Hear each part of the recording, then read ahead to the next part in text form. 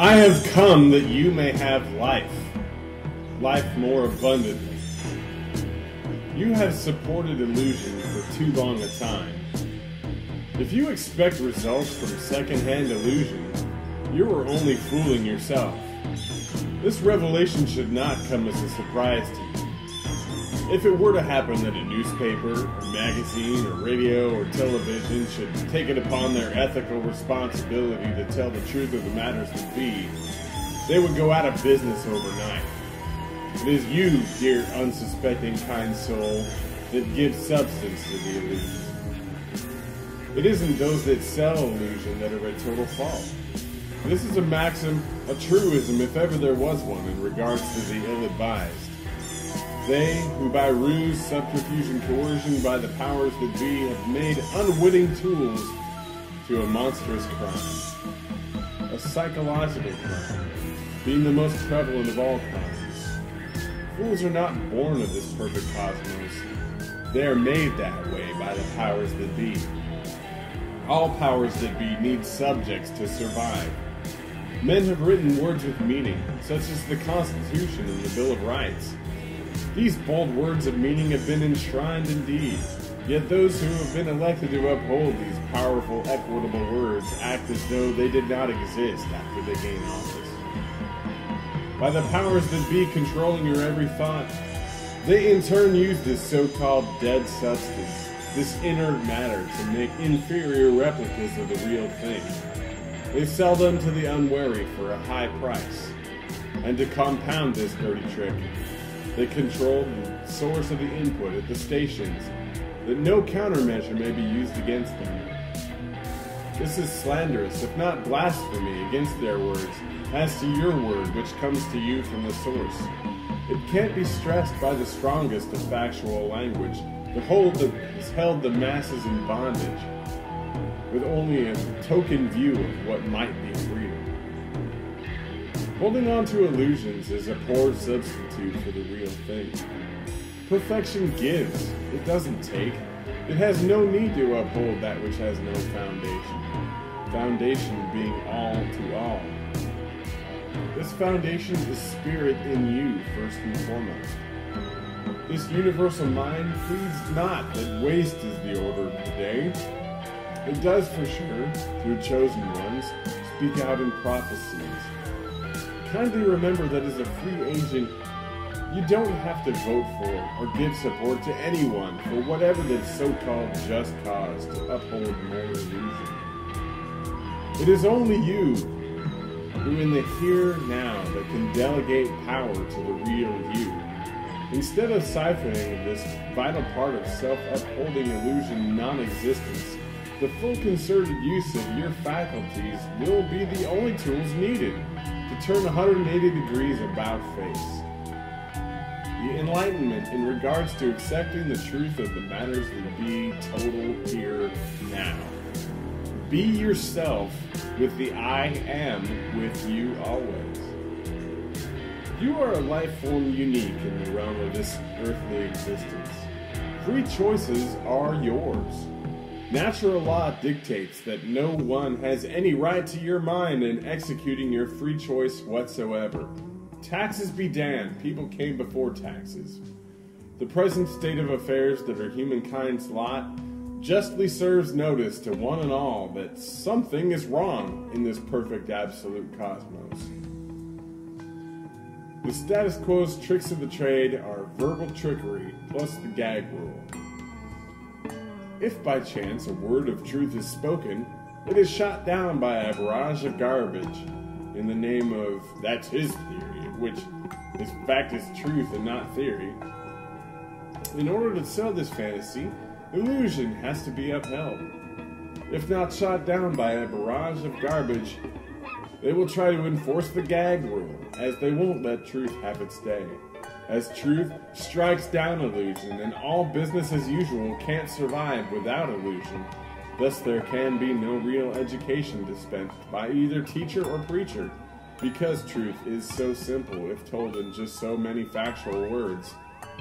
This so called education system that washes out the brains of the unwitting, the innocent, just so that the lazy non thinker with license to steal can commit a psychological crime in order to have consumers who will buy the unreal for the real that is taken away in this present state of affairs.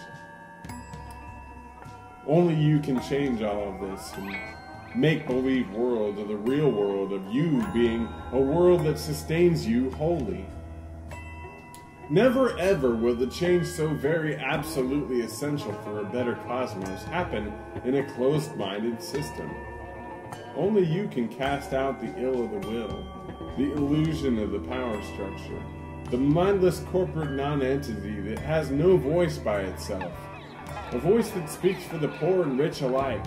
This all consuming monster that has sapped the lifeblood from the real, and in exchange, the imitation is sold as to be real. For once in your life, think pure thought. Indwelling in your temple is everything that was, is, and will be, past, present, future, all wrapped up into the perfect universe called you. You will find that if in full control of your faculties, that I am is ready to enlighten you to whatever is programmed to be passed on through you wherein your creative ability will urge you on to greater potential than you ever dreamed existed. A desire that can't be stifled. This is the real you being made manifest by the I am. It is a criminal offense to subjugate a person to beg for the free exercise of his intelligence. No state or person has the right to the mind other than their own. Money as a medium of exchange has served its purpose well. It has traded the imperfect for the perfect, vis-a-vis computers, and have replaced the biocomputer, making man an automaton life without meaning, as anybody can sell anything without any problems. This list of counterfeit and imitation goods is limitless, endless. Also, under cover of misappropriated words, Illusion is the top item on the list of greatest gross sales in recorded history. 6,000 years on the job experience for plundering for plundering's sake. Namely, because it pays well. And who is going to take the time and effort to change human nature? You have been victimized by thoughtless involvement into buying all of this illusion. You have been had, brother and sister. So don't pop off and try to deny that and claim you're too smart to have been involved in any swindle. If you think it never happened to you, it is time to get off your high ego trip and do the right thing for once in your life and change. Do you, who claim to be human, care about the rotten state of affairs of mankind? Is there not a single thread of human decency left in your also precious soul, your being? Has life to you grown so dull, so sour, so unlivable to you, where you cease to care? What can I do, you may ask? Only you can make a better world. Nobody will do it for you. If you don't care, no one will look out for you. As friend and foe are looking down the business end of this loaded and ready to pop tool of destruction that is being manned by a whole line of non thinking idiots. Please don't play the act of the fool by trying to shirk your God given duty or try to delegate your duty to someone else to do it. This is one act that no amount of illusion will cure. Illusion being time, space, money, and policy other than your own. Your time is yours here now. Your space is the space you occupy. Your money is what you care to know. Your policy is what you do with what you know. All else is only non profit, superimposed ignorance. War being ignorance made manifest. War being the antithesis of peace. You are the only place peace can dwell. Initially, your being was dedicated to substantiate this peace. Unconditional, uncalculating, non selective, non judgmental. All of this might seem high minded and over and above your comprehension. May the original author of your being advise you that you owe it to I am, that you, for the first time in your life, recognize this I am, This can be done on earth, here, now. The simple tools necessary were given to you initially. It is up to you to see and know this I am, who is with you always. You were made in the image of the Maker of all of outside of you, of which is a perfect cosmos, absolutely without peer. Now, you, with whatever is so present, ever so all knowing, ever so powerful, it is time to divest yourself from this ever so calculating presence of fear.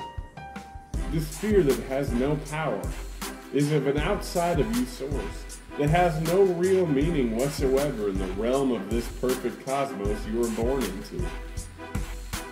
Fear is the non substance that death is made of. Death is only ignorance made manifest. Knowing that the perfect essence of the living spirit alone made manifest by the I Am, with you always. If humanity is to turn about face and start doing things for the right reasons, it will need to see with new eyes, hear with new ears, and experience truth with new conviction to the central core of all being, the I Am with you always. Your eternal nature, forever free, should be the rule, not the exception. For in the search for peace, truth was the father to occasional glimpses of peace in the past. In an upside down world, whereas war and warring kept Father Truth from coexisting with Mother Peace, only now being aired in its true light in this thesis. The hope of a better world is upon us, only to be made manifest by your responding to the simple truth of your true identity. Better to be active today than radioactive tomorrow.